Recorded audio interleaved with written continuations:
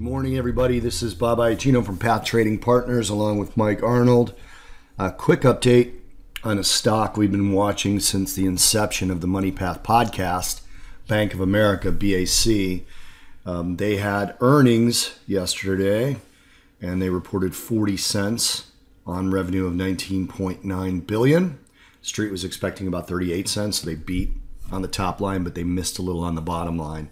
Street was looking for about 20.85 billion in revenue, although they did say they expected to earn an additional 600 million uh, on the rate hike that happened, the 25 basis point rate hike. So that'll be over the uh, forward 12 months. I'm going to turn it over to Mike to show you what he's seeing on his uh, motive wave chart there.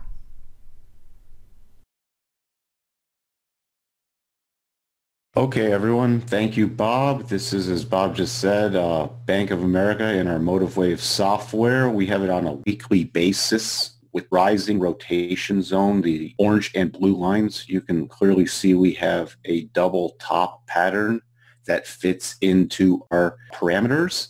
We also have our projections downward, and you'll notice our full target is well within the rotation zone also. So we can either take a two target or one target trade based off this weekly setup. Let me drop down to the daily real quick. So here we have the daily, the rotation zone is out of the way. We are watching for a potential trigger. We need a close below this 2177 mark. It will not be triggered without a close. This is still a potential double top because we have not traded below, and it will be a triggered double top if we close below. Now you can also see our two targets here, the 175 and 200. I would take this as a two target trade just because of this flat area right around the 175.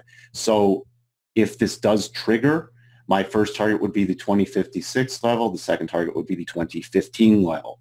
If this does rotate back up and makes a third top, then it will not be a double top anymore, and this is an invalid setup. So we'll have to continue to watch this unfolding price action. However, due to that pretty big sell-off yesterday. It got fairly close to the base of this double top, so we thought we'd update you. We also talked about this on our podcast number 54, done on January 13th. So if you don't listen to that, you should subscribe, and we will update it again on podcast number 55 this coming Friday, which will be January 20th.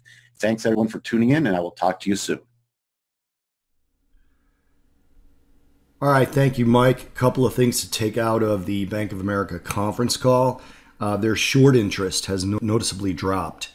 As of the most recent settlement data, the shares sold short are down to 108 million from 138.4 million. That theoretically means if the volume has been steady that there's more longs, which could kind of help this push to Mike's targets if the longs were to start to dump shares. So you do want to see shorts, short shares declining in the settlement data when you're looking at a potential trigger for a downward move because that means generally there's more longs. There's usually more longs than equities, but just so you know, the short sellers won't be buying them back to hold it up if there's fewer short sellers. Um, secondly, the interest rate rise, like I said, about 600 million to next year's.